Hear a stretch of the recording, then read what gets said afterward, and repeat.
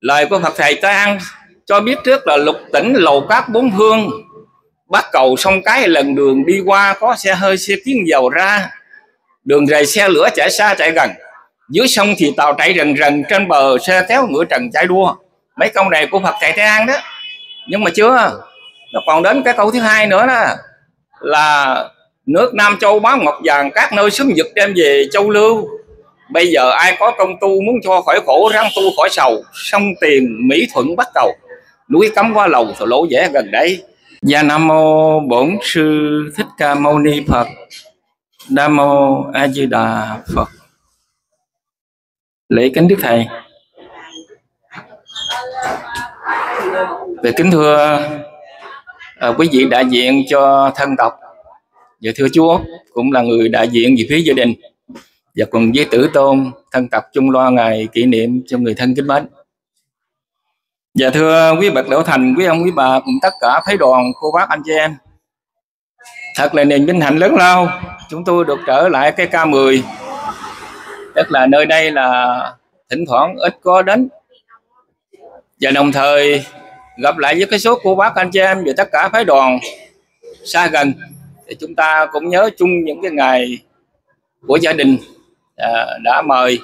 Nên vì lẽ ờ, đồng thời đến đây đủ lượt, thì chúng ta vừa là tỏ ra cái tinh thần của Phật giáo Hòa Hảo, biên liên kết với nhau trong tinh thần khi thầy xa vắng 85 năm. Và sau đó chúng ta trợ duyên cho gia đình trong những ngày kỷ niệm.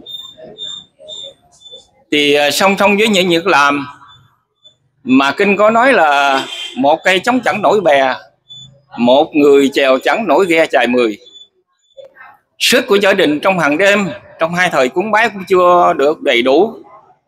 Mà lại là nhờ cái sức tha lực của toàn thể cô bác anh chị em, trẻ tu phước, tu huệ, tu giới, tu định, để chúng ta song song hành với những việc qua cái chương trình cầu nguyện đó đây, mà lại còn hợp tác với nhau trong những ngày kỷ niệm như thế này. Thì tôi nghĩ rằng, hiện nay trong kinh pháp cú của đức phật khi xưa dạy rằng, một người cư sĩ tại gia, nếu chúng ta làm những vệ sinh trong gia đình mà chúng ta còn có cái sự công đức của huống chi là chúng ta đến đây để hỗ trợ cho Phật pháp. Lời Đức Phật khi xưa viết lên trong kinh pháp cú, cần táo và lam địa, thời thời phước huệ sanh, tuy du nhân khách chí diệt hữu thánh nhân hành. Nghĩa là xuyên quét đất vườn chùa ngày hàng ngày sanh trí tuệ, tuy không có khách khứa đến chứ cũng có thanh nhân đi. Những người công tác vệ sinh, dầu là cư sĩ hay là xuất gia thì chúng ta còn có được các công đức to lớn như vậy, huống chi là chúng ta tịnh được ba nghiệp. Ở đây cô bác, anh chị em biết rồi đó. Đức Bình Giáo Chủ ra đời dạy con người muốn làm lành lánh dữ thì chúng ta phải tịnh ba nghiệp. Thân khẩu ý, nếu mà thân khẩu ý chúng ta trong sạch ngồi y như vậy, thì chúng ta đó là Phật đó. Tam nghiệp tịnh Phật xuất thế mà tam nghiệp bất tịnh Phật nhập diệt. Nên vì lẽ mà hôm nay chúng tôi tin tưởng rằng những cái ngày kỷ niệm, những ngày trao đổi qua giáo điều của Đức Tôn Sư thì chúng ta lắng lòng định được ba nghiệp trong sạch y như thế này, để chúng ta lãnh hội qua những dấu điều của Đức Tôn Sư khi Ngài sai vắng rồi. Thì Ngài giải lại là cái người tín đồ Phật giáo của Hảo, là tín nữ thiện nam thiện nam tín nữ trong tôn giáo và Phật lúc rảnh dịp nên thường coi kệ giảng. Mà giữ gìn thông báo nước nhà, nên vì lẽ mà chúng tôi nghĩ rằng trong thời gian chúng ta đã được coi kinh đọc giảng rồi, những câu kinh tiếng kệ nào của Đức Quỳnh Giáo Chủ chúng ta thấy rất là màu nhiệm và sâu sắc một câu để ý niệm sâu, nghĩ si cho cạn mới hầu khôn ngoan. Cho nên từ đó hôm nay có cái cơ hội mà chúng ta gặp lại rồi, chúng ta đem mình những cái lời hay đẹp đó để chi? Để chúng ta đào sâu ý nghĩa của đức thầy. Là nghe cạn lời chớ khá mờ hồ, tìm hiểu nghĩa để chi để đã làm theo đắc đạo. Để chúng tôi nghĩ rằng, giáo lý của Phật Đà, nếu như mà chúng ta tầm sâu thấy sâu, tầm cạn thấy cạn, nên cái cơ hội gặp lại là một cơ hội khó lặp lại mà đông đảo mà như thế này chúng ta ngồi để lắng lặng để chúng ta uh, truyền cảm qua những lời thấy đẹp của tổ thầy thì là một điều khó khăn. Cho nên chúng tôi gặp lại suốt của bác anh chị em mừng có một điều là toàn thể bà con mình đã qua một cái cuộc đại, đại dịch rồi. Và ngồi đây yên lặng chúng ta cùng nhau trao đổi thì là một điều quá hay. Nên vì lẽ chúng tôi xin đại diện cho địa phương chế nhà lời nói đầu tiên. Xin đại diện cho địa phương chế nhà vào đoàn chân thành gửi đến gia đình của bác anh chị em lời vấn an sức khỏe. Lời chào mừng kính cẩn và lời tri ân sâu đậm nhất của chúng tôi. Thôi, thời giờ có hạn.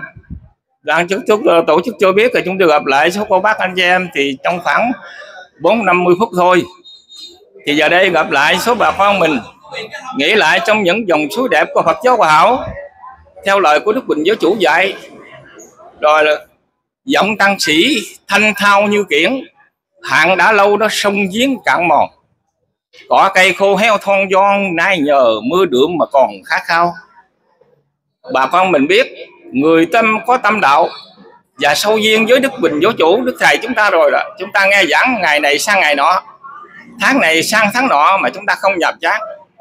Nhưng mà đối với những người cơ duyên rất mỏng, không có duyên với đức bình, giáo chủ, đức thầy chúng ta thì trái lại nghe kệ sám như ru giấc mộng hay là thấy sanh chúng sầu bi dọa mổ kệ khuyên trần như nước đổ la môn. Nghe rồi nó ăn rớt ăn rớt à nó không có chịu đâu. Cho nên vì lẽ chúng tôi nghĩ rằng gặp lại trong cái hội trường một tâm lý chung một lý tưởng cùng nhau là thầy nói là yêu những kẻ tâm đầu ý hiệp. Mến là mến những ai biết kiếm đạo màu. Thì thôi thời giờ có hạn. Gặp lại số bà con mời toàn thể cô bác anh chị em giữ phần trật tự chung. Và đồng thời mời ông uh, sướng công viên ban tổ chức đến đây đọc qua những lời vàng tiếng ngọc của đức thầy để chúng ta cùng nhau trao đổi trong việc hiến máu hôm nay. Thôi trân trọng kính mời đi. Và nam mô a di đà phật. Vừa qua thì uh, huynh mười tôi cũng có lời nói à, đầu tiên thăm hỏi toàn thể à, cái à, đạo tràng cũng như cái hội trường mình hôm nay. Vậy hả? Chị tá phải không? Rồi. Này à, chị tá này đại diện cho ở à, phú hiệp. Mời chị. Nam mô Bổn sư Thích Ca Mâu Ni Phật. Nam mô A Di Đà Phật. À, tôi xin à, lên để à, à, nhờ à, huynh mừ để giải đáp dùm bốn câu. Hoàn cầu trái đất chuyển xây gớm ghê cho chúng phơ thay muôn ngàn. À, nhờ huynh mừ à, để giải đáp cho đồng đạo cùng nghe chung. À, ủng hộ cho anh đàm pháo tay thì hỏi bốn câu mới có hỏi hai câu quên hai câu sau còn cái phút sau nữa ông mười ông nhắc dùm cho giám chủ. Rồi mời đi.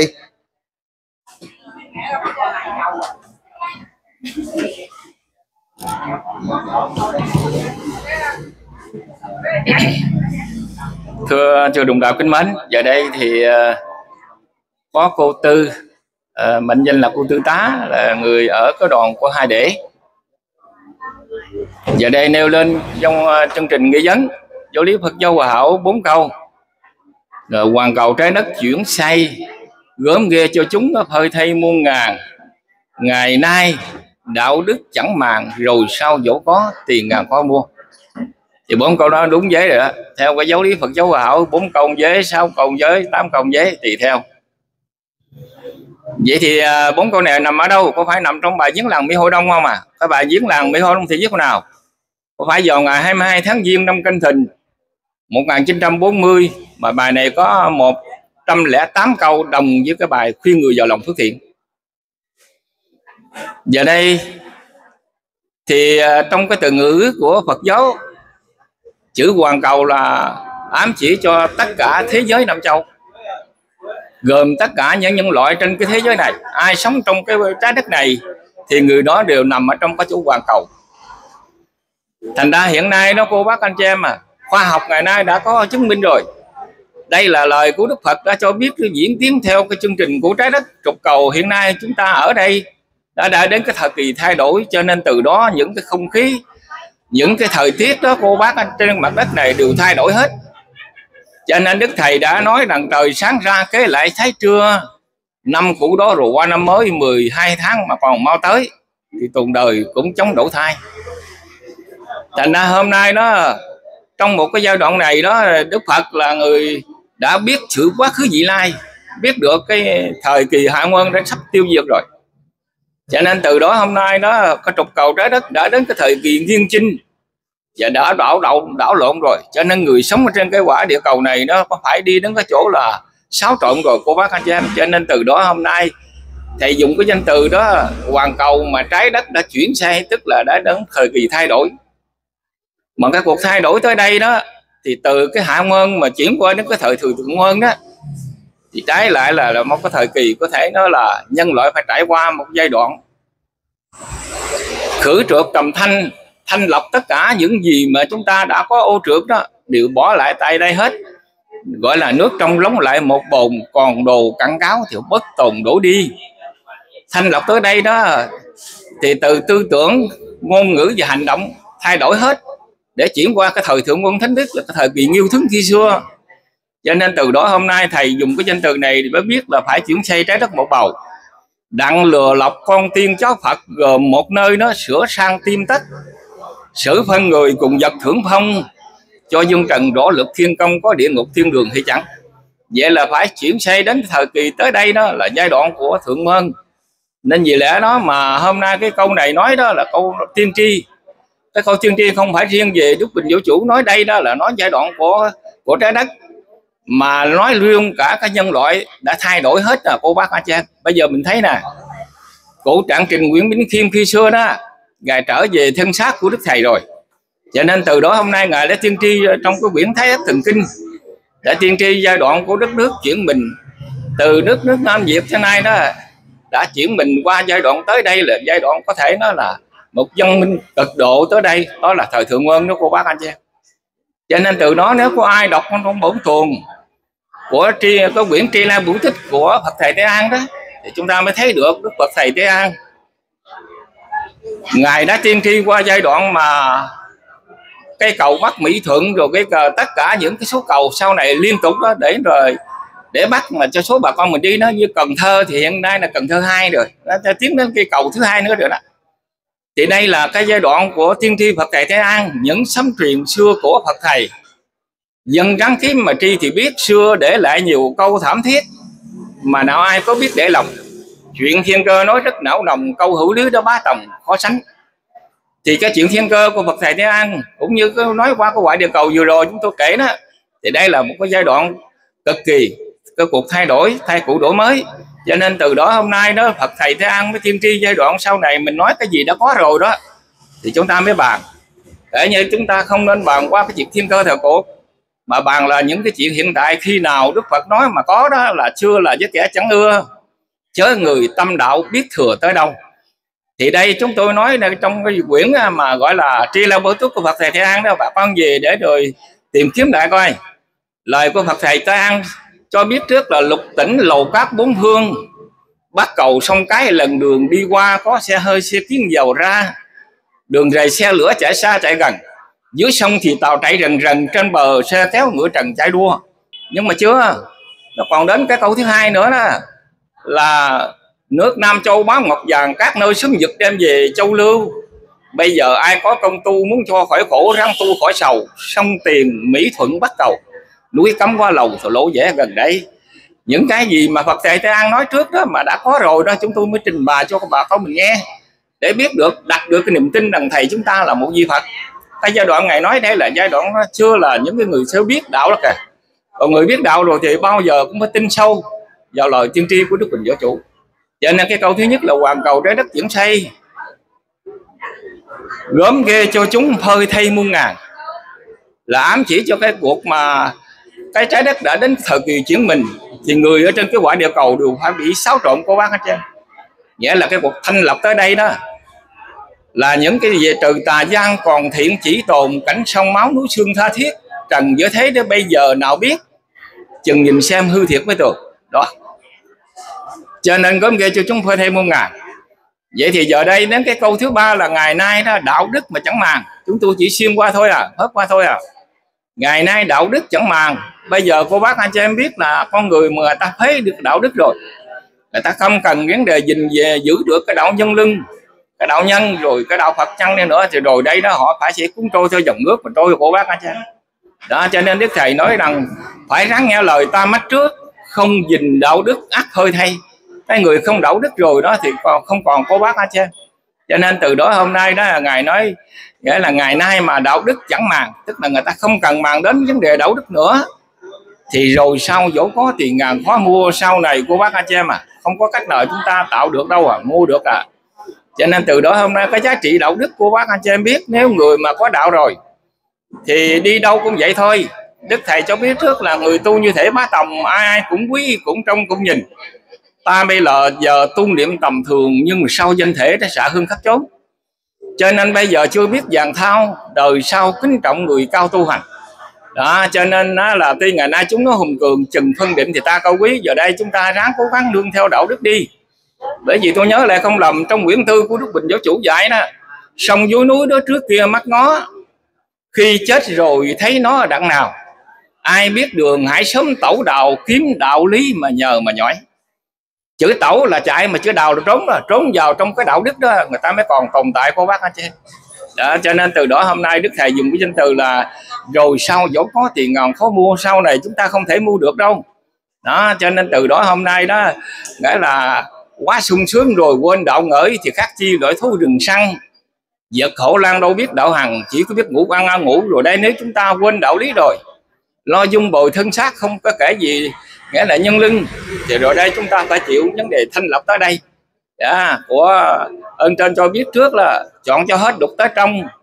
Thương cho đồ đệ hết lòng chẳng buông lửa đồng mà đúc nên chuông. Lựa người hiền thảo mà thương mới lâu dài. Giờ đây ta đang tuyển chọn ra các chư Phật từ đây lựa tuyển. Coi ai là đức hạnh hiền từ hay là quyết tuyển con lành đem lại Phật gia. Đang lựa tuyển cái giống lành mà. Đó cho nên từ đó hôm nay bốn câu của đồng đạo nêu ra thì rõ ràng hoàn cầu trái đất chuyển say gớm ghê cho chúng hơi thay muôn ngàn ngày nay.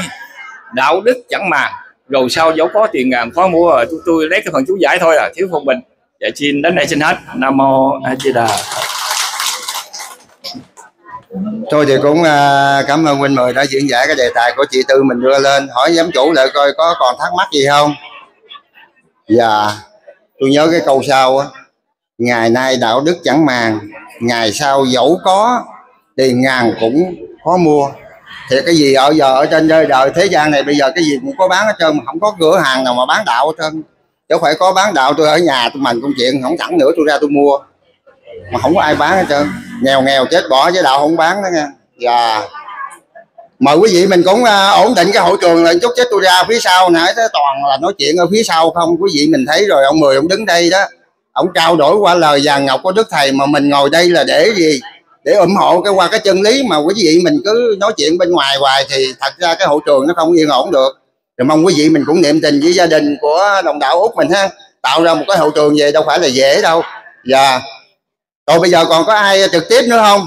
Ờ à, rồi mời chị. Rồi rồi chị đứng đó luôn đi. Tôi gửi máy giờ tài mạnh liền nam mô bổn sư thích ca mâu ni phật nam mô di đà phật.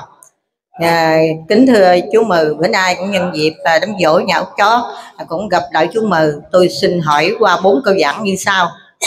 Phá ngũ quẩn dứt lần tham ái cội sân si cũng phải tảo trừ đem về giấc tánh chân như kim thân thị hiện dứt trừ tử sanh nhờ chú giải đáp dùm cho đồng đạo nghe chung, thành thật cảm ơn chú. Nam mô a di đà phật. Ôi, ủng hộ quá, cái đề tài này quá hay rồi, khóa ngũ quẩn dứt lần tham ái. Trên đời thì mà không tham dứt hết của chừng chết nha ta kim thân tự hiện dứt từ tử sanh, thôi bây giờ là bàn cái chỗ chữ tham này với cái dứt từ tử sanh này là giải thoát về cảnh phật rồi. Thôi vậy mời huynh mời đi. Nam mô di đà phật. Ờ,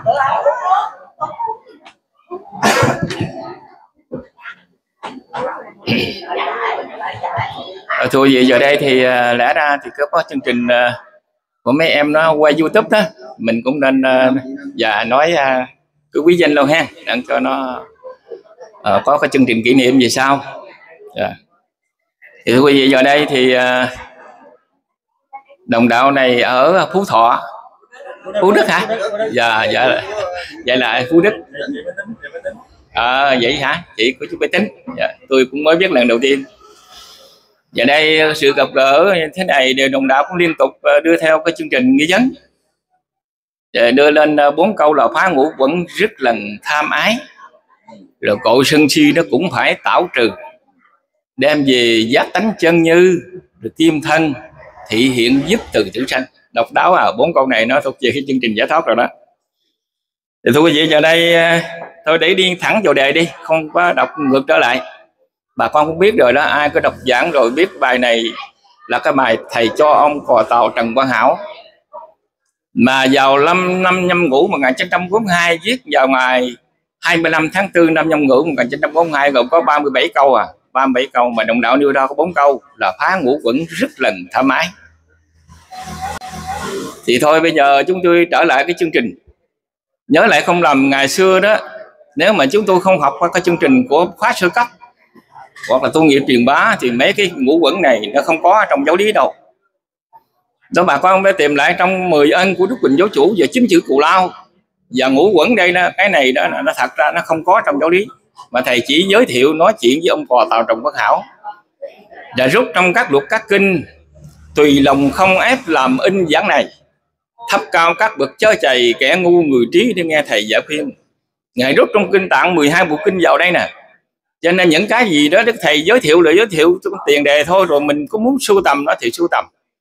Đó, cho nên từ đó chúng ta thấy được ngũ quẩn nó nằm trong pháp bảo đàn ở trong kinh pháp bảo đàn có đức lục tổ huệ năng đó, giải gì vấn đề ngũ quẩn. Thì ở đây mình trình bày theo cái khái lược thôi à ngũ quẩn là gì?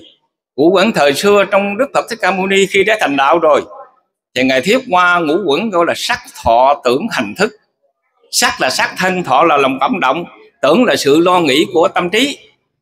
Rồi là hành là hành động của tâm ý và ý là sự phân biệt của ý, tức là sắc thọ tưởng hành thức thức là sự phân biệt của ý. Thì ở đây trong thời kỳ của đức phật ờ, trong thời ấn độ khi xưa mới dạy là sắc là sắc thân bây giờ thầy đổi lại cái từ ngữ nôm của việt nam nó dễ nghe. Là thầy dạy là tham, sân si, nhân ngã. Cho nên từ đó hôm nay chúng ta mới đọc ngược trở lại trong cái quyển dắt về thêm kệ của đức thầy viết, lời ta dạy hãy nên suy nghiệm, phải phá tan ngũ quẩn trong mình, chữ tham. Trong ý muốn mặc tình ráng định tánh trừ cho nó tuyệt. Rồi chữ ghê gỗ là sân hải diệt cho nó đừng thấp thoáng trong lòng, thêm chữ si thiệt quá lòng vòng nên tỉnh trí tìm nơi dục tắc chữ nhân ngã cũng là quá gắt. Ta chớ nên phân biệt với người. Dẹp năm tên, được mới mừng cười vô pháp tướng, đó mới là thiệt tướng. Siêu sức. Bây giờ cô bác, anh chị em mình đọc về từ ngữ rồi đó. Chúng tôi nó trình bày qua cái từ ngữ thôi à. Vậy thì sắc là sắc thân. Khi xưa đức phật thích ca thuyết là gì vấn đề là cái sắc là sắc thân. Bây giờ tại sao đức thầy thuyết là chữ tham?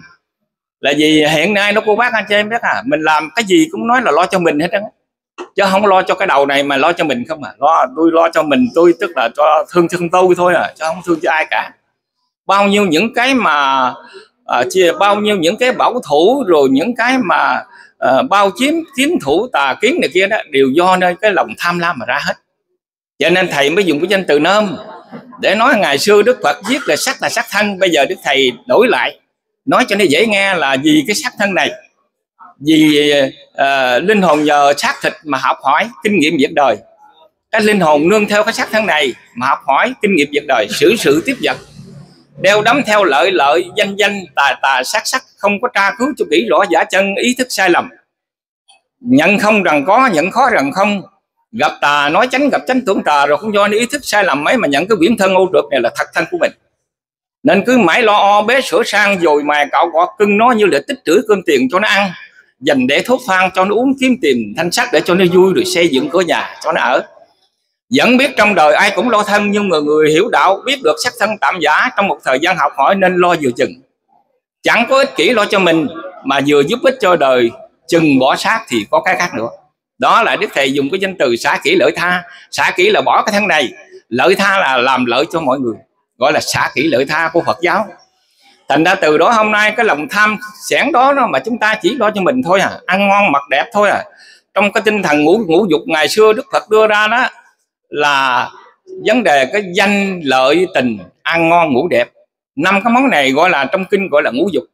Mà trong bài sứ mạng bà con mình nghe đó thiên tàu đã xác định khắp chúng sanh trong thế giới trong cái buổi hạ nguyên này đã say mê vật dục chìm đắm trong biển lợi danh. Hiện nay nó có quá anh chị em mà vấn đề này để đức thầy khuyên rải rác ở trong giáo lý thi dân sưu tập toàn bộ rất nhiều nơi như cái bài dẫn dò bổn đạo đó. Từ nay ai có tới lui cúi đầu bái phật lòng vui tu hành xin đừng đeo đắm lợi danh bỏ trôi đạo đức thì hư danh giả truyền. Bao giờ vấn đề ngài cũng bảo xa vấn đề danh lợi mùi danh lợi đua trang à, mùi danh lợi đua trang màu ong ống đâu có màn tiếng vọng của người tu danh lợi là gì? Đó là hai trong cái vấn đề ngũ dục đó, cô bác anh chị cho nên từ đó, cái người tu phải tránh xa. Nên từ tối đó hôm nay ông ba thới là một tác giả kim cổ kiều quan thầy mượn ông tay ông đó mà viết ra cửu khúc đó, cô bác là chính môn thuộc công danh lợi xa trời dân phật, đường tây phương, tích vật khó đi. Cái đường về tây phương đó mà ai bị vật chất mà chứa nhiều đấy, là không thể đi được. Cho nên đức thầy mới viết cái đoạn văn là lời lành mắt lắp tai, ngơ đua theo vật chất. Thì bên đây phải hẳn hờ đàn tiên hố sâu ngã tình dục lại ghiền ghiền cho đến lúc chúng khiên quan tài đã làm nhân một kiếp không yên, đến nhắm mắt xung chiên dập bỏ của bác anh chị em à mình lo cho cái thân không à? Lo cho tranh danh đoạt lợi này kia là lo cho thân mình không không có lo cho vấn đề tương lai là gì cả. Cho nên từ đó đức thầy cũng như đức phật khi xưa đổi lại sắc là sắc thân, thầy đổi lại là cái lòng tham cái lòng tham của con người nó không có bờ bến á, biết sao đầy được túi tham. Không ngăn không đáy thì càng làm không kiên cô bác anh chị em à. Cho nên từ đó hôm nay đức thầy mới đổi lại cái danh từ nôm cho mình biết là tham. Bây giờ đến chữ sân sân là nằm nóng là nóng giận đó.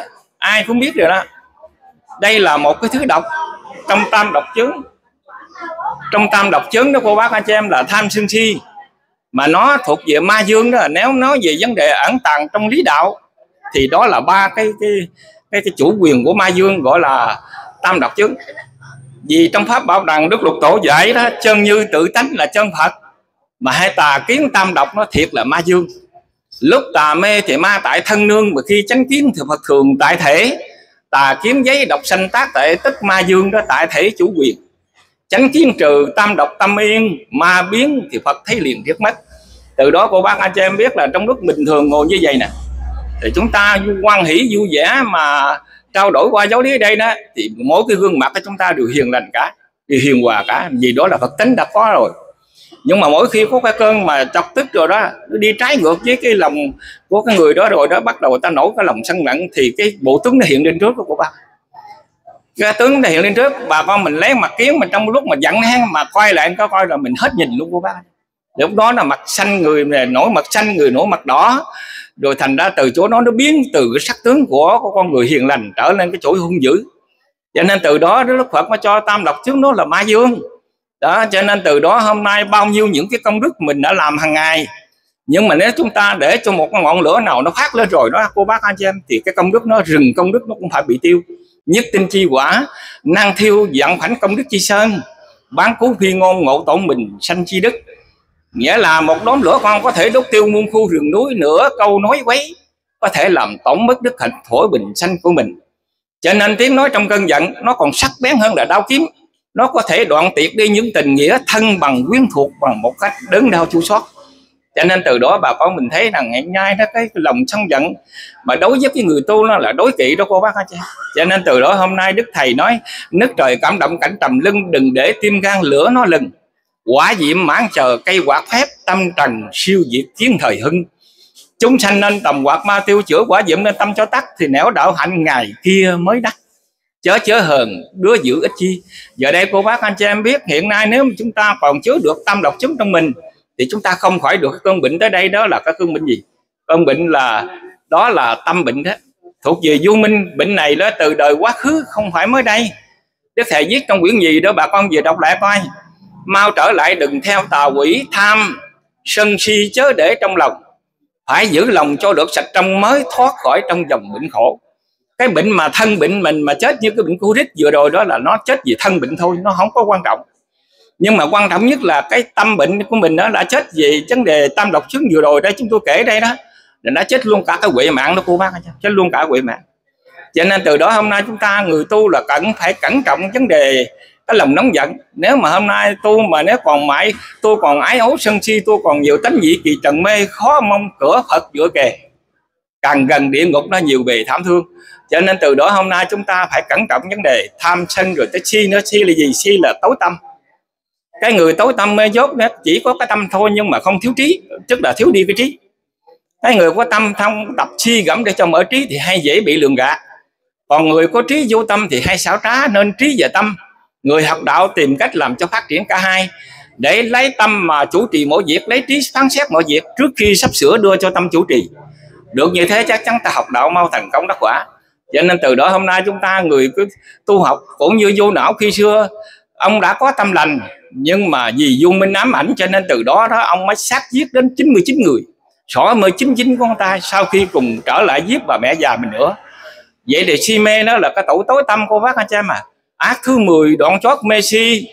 Nguyên tâm tối từ hồi du thủy màn du minh che mờ căn trí nên thường hay nhận ngụy làm chơn. Lo quyển thân vật chất kém hơn chứ chẳng tìm biết tinh thần đạo đức. Cho nên từ cái chỗ tối tâm đó nó mà sanh ra những cái nghiệp lực rất nặng nề.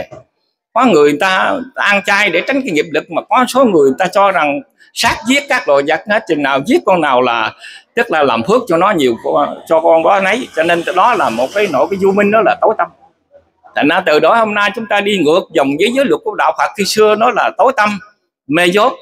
Cho nên từ đó hôm nay thầy mới dạy vấn đề là phá ngũ quẩn rất lần tham ái vậy là tham sân si.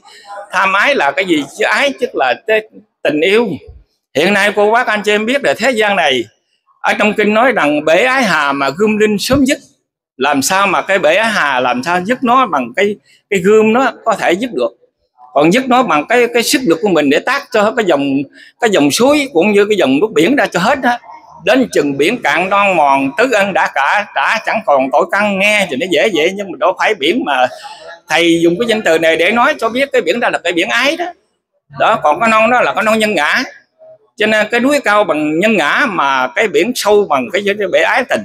Cho nên từ đó hôm nay đó ngài dùng cái danh từ bể ái hà gươm đinh sớm dứt chỉ có dứt bằng một cái sức trí tuệ của mình tức là dùng cái gươm trí tuệ sáng suốt mà cắt đứt đi những cái phiền não của chúng sanh.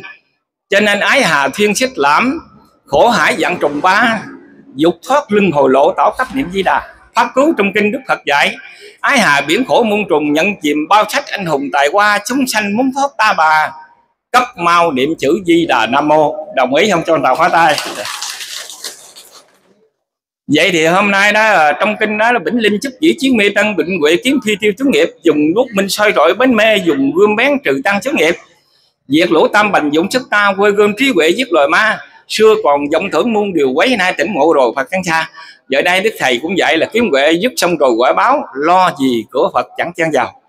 Vậy thì hôm nay rất vũ quẩn, rất lòng tha mái. Tội sân si cũng phải tảo trừ. Đây thầy đảo lộn trở lại và sân si là gì? Tức là nóng giận về giờ tối tâm đó.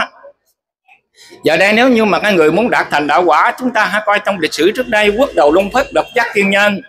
Và ông trần bá lương là đệ tử của ông cử đó, đều thất bại một cái chiến trận, vấn đề lòng nóng giận đó, cô bác chứ. Mà phải bỏ đi một cái phí đi một thời công phu hành đạo. Đó, cho nên từ đó hôm nay cậu sân si cũng phải tạo trừ. Đem về giác tánh chân như. Giác tánh là gì? Ám chỉ cho tánh thật đó hiện nay mà nếu tánh phật chúng ta trở lại hồn nhiên y như vậy rồi, thì tức là chúng ta đảo ngược lại cái dòng từ sanh tử trở lại niết bàn. Địa ngục sẽ trở thành thiên đường, phàm phu sẽ trở thành thành hồ phật giả, nghĩa là chúng ta phải chuyển quá cái tánh tình chúng ta. Tu cầu phật quá tánh tình, lưới mê chẳng buộc về mình tiêu dao quá là thay đổi đó. Từ cái chỗ nóng giận chúng ta thay đổi trở lại. Đó, phải biết từ bi, phải biết thị xã, phải biết tha thứ cho mọi người chúng sinh thì chúng ta mới đi đến cái chỗ kết quả thành tựu đạo quả. Thành ra từ đó hôm nay nó à, kim thân thị hiện là gì? Tức là ám chỉ cho thân bằng vàng, chứ kim là vàng đó, thân là thân bằng vàng. Mà ở đây cô bác, anh chị em biết, đọc ra trong di thức học, thì khi đức phật đã chứng được đạo rồi thì có tâm thân tứ lượng, có tứ trí, có tứ quả thánh đạo. Bởi cái người diệt được tứ trí rồi, nó sẽ chứng được cái vấn đề tâm minh. Sẽ chứng vấn đề vấn đề là một là được tam thân tứ lượng. Thân thứ nhất á, là thiên bá ức quá thân. Cái thứ hai đó là viên mãn báo thân. Cái thứ ba là thanh tịnh báo thân. Có được tam thân rồi tự nhiên có tước lượng là từ bi hỷ xã. Bốn đại đức rồi gọi là tước lượng gọi là tam thân tước lượng. Cho nên đức thầy nói là kim thân thị hiện được giúp trừ tử sanh. Nếu hiện được tam thân tước lượng rồi thì cái dòng sanh tử không còn cô bác anh chị em à à, cảnh niết bàn là nơi cứu cánh về chúng đi xa lánh hồng trần. Giờ đây chúng ta trở lại cảnh niết bàn tịch tịnh lại đường vô sanh thưa thôi vậy vậy thì bốn câu của đồng đạo, phá ngũ quẩn rất lần tham ái cội sân si cũng phải tạo trừ, đem về giác tánh chân như. Kim thân thị hiện giúp trừ tử sanh thì chúng tôi lấy các phần chú giải thiếu phần mình và đến đây xin hết. Nam mô a di đà phật.